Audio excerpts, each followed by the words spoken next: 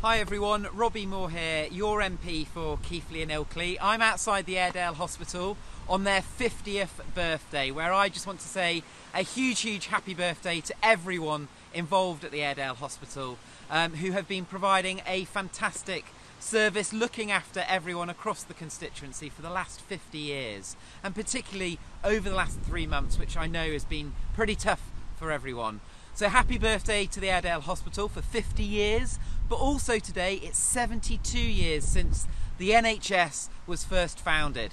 So a great day to celebrate the NHS looking after us all and keeping us safe.